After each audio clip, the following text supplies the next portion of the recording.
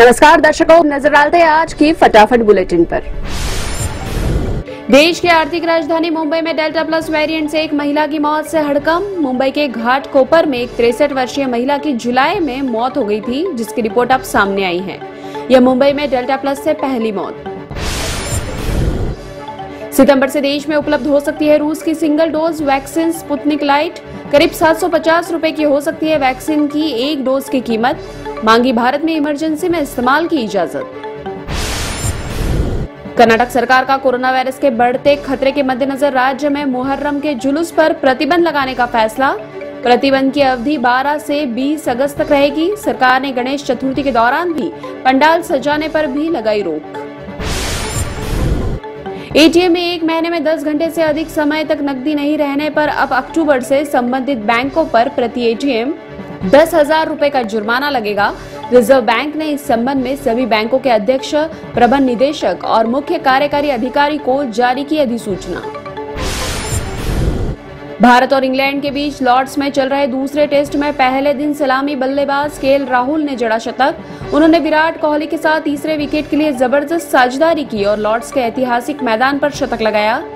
दिन का खेल खत्म होने तक भारत का स्कोर तीन विकेट पर दो सौ छिहत्तर रन। मुंबई हवाई अड्डे पर सुरक्षाकर्मी तब हरकत में आ गए जब रनवे की तरफ़ से कुछ शरारती तत्वों ने पेट्रोल से भरी एक बोतल फेंक दी।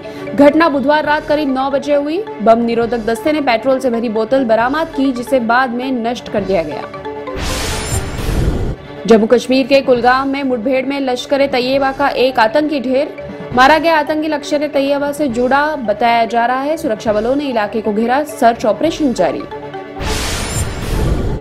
अमेरिकी और नाटो बलों की वापसी के बीच तालिबान ने अफ़गानिस्तान के दूसरे सबसे बड़े शहर कंधार पर किया कब्जा। इसे मिलाकर तालिबान अब तक 34 प्रांतीय राजधानियों में से 12 पर कब्जा कर चुका है।